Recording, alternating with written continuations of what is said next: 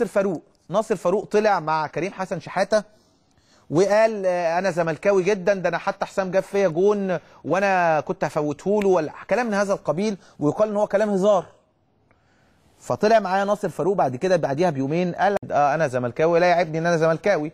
بس أنا يعني لو أنا كنت بهزر بدليل إن أنا اما كنت بلعب في بترول أسيوط آه، آه، طلعنا الزمالك من كأس مصر وصديت ضربة جزاء لمحمد عبد الله.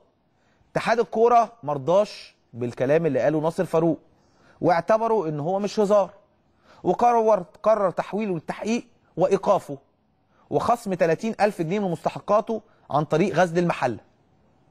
زي ما أنتم عارفين في 100 ألف لاعب زملكاوي وأهلاوي ومعظم لعيبة مصر زملكاوية وأهلاوية.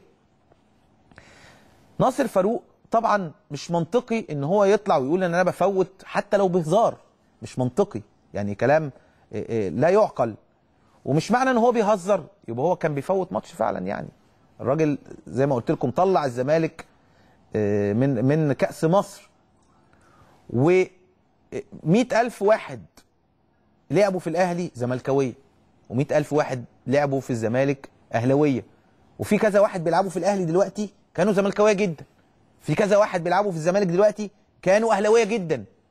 لكن اتحاد الكورة تدخل في هذا الموضوع ليه؟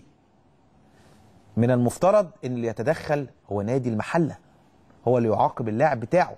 لكن اتحاد الكرة يوقفه ويحوله التحقيق مال اتحاد الكرة بالموضوع. ما إحنا بنسمع كلام من زمان جدا معظم من ينتموا لاتحاد الكرة المصري أهلاوية وزملكاوية.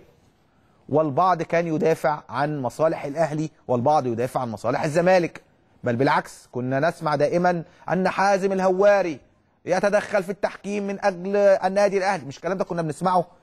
لكن لا يعاقب أحد لانتمائه. كون هو يقول كلام هو مش متعود على الإعلام بيهزر مع كريم. كلام لا يعقل إن هو يقوله على الهواء مباشرة حتى لو بهزار. هل ده يسمح لاتحاد الكرة المصري أن يعاقبه؟ لسه لجنة المسابقات واقفة محمد إبراهيم ماتشين من غير ما يعمل حاجة. يعني الحكم أخطأ راحت لجنة المسابقات واقفة محمد إبراهيم برضه يعني آه، عملوا غلط فوق الغلط. فإحنا مش فاهمين ماذا يحدث.